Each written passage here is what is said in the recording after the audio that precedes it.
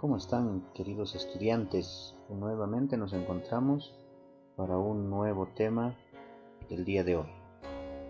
Vamos a empezar como siempre con un versículo que está en Proverbios 17:17 17, y dice, ama en todo tiempo al amigo y es como un hermano en tiempos de angustia.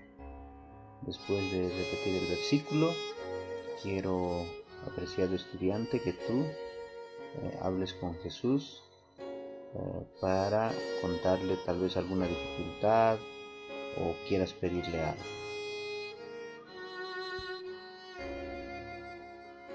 Muy bien, continuamos con el tema. El tema de hoy nos habla sobre la cadena trófica. ¿Qué será la cadena trófica? Dice que la cadena trófica es la cadena alimenticia que señala las relaciones alimenticias entre productores, consumidores y descomponedores.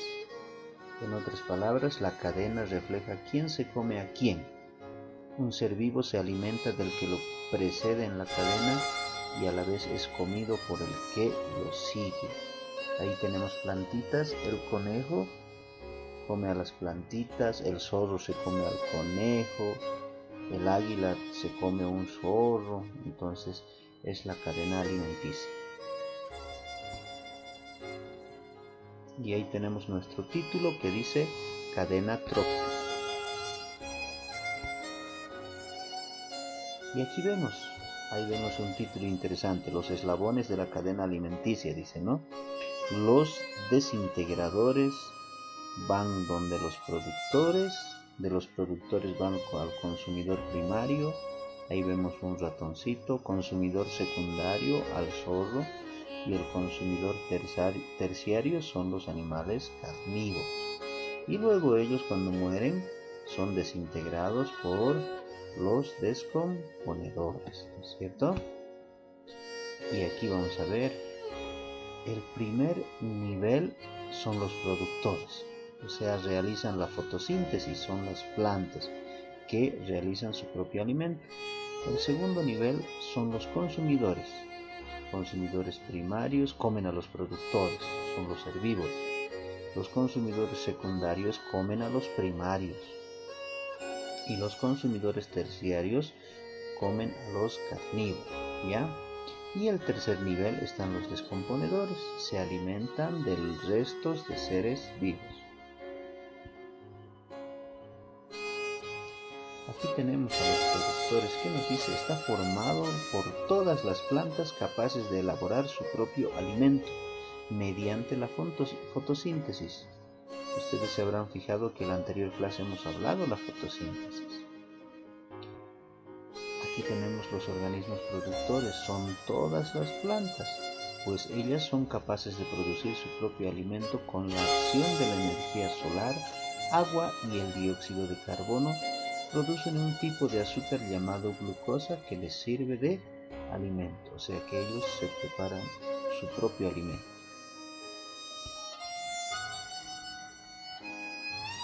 Aquí tenemos un, mapa conceptual muy interesante, clasificación de las plantas. Hay plantas sin flor y plantas con flores, según la forma de reproducción. ¿Cuáles son las plantas sin flor? Su forma de reproducción es mediante esporas. ¿Cuáles son esos? Son los helechos, musgos y algas. ¿Cuáles son las plantas con flores? Son la mayoría de las plantas. Los órganos reproductores se encuentran en las flores y de ellas se forman las semillas y los frutos que son los que les sirven para la reproducción.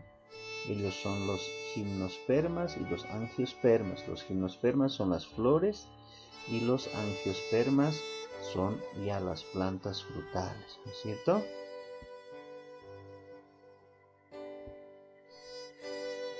Aquí continuamos con los consumidores. ¿Quiénes son los consumidores? Hemos hecho en anterior los productores. Aquí ahora vamos a ver a los consumidores. ¿Cuáles son los consumidores?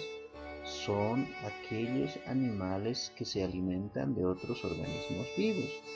Los consumidores primarios se llaman herbívoros, ellos comen los vegetales. Los consumidores ya ah, que comen a otros animales pueden ser secundarios, terciarios o cuaternarios. Ahí vemos al león, al carnívoro que está comiendo carne. Ahí vemos a un gatito que le tienen que dar atún. Ahí vemos a una víbora que se come a la lechuza, ¿no? Y ahí las vaquitas y el caballo o están comiendo hierba y la tortuga también. Entonces ellos son los consumidores.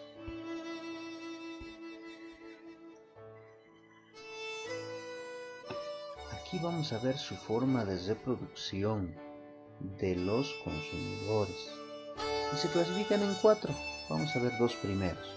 Los vivíparos nacen de la barriga de su mamá, son los que nacen del vientre de la mamá. Los ovíparos nacen de un huevo.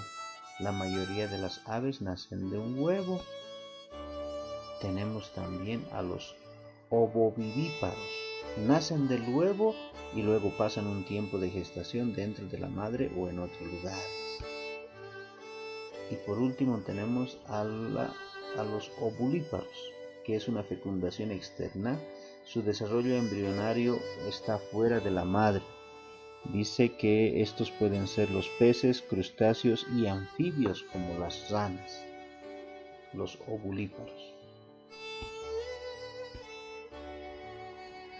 Y aquí tenemos a la tercera parte que son los descomponedores. Los descomponedores son los animales que se alimentan de restos y desechos que producen plantas y otros animales. Tenemos a los hongos, bacterias que abonan la tierra que sirve para, para alimentar nuevamente las plantas. Aquí tenemos un pequeño resumen del ciclo del alimento en los ecosistemas. En todo ecosistema hay tres tipos de seres vivos que obtienen su alimento de formas distintas. Fíjense a los productores, los consumidores y los descomponedores. Son los tres eh, aspectos muy importantes que hay que tomar en cuenta. Y por último tenemos, ya terminando el tema, tenemos actividades. ¿Qué vamos a hacer en estas actividades? Nos indica el eh, número 1 dice escribe las características mediante un mapa conceptual. Vemos el título, la cadena alimentaria, cuáles son los productores, consumidores y descomponedores. Y ahí abajo van a colocar el concepto o las características que tienen estos tres, eh, estas tres palabras, productores, consumidores y descomponedores.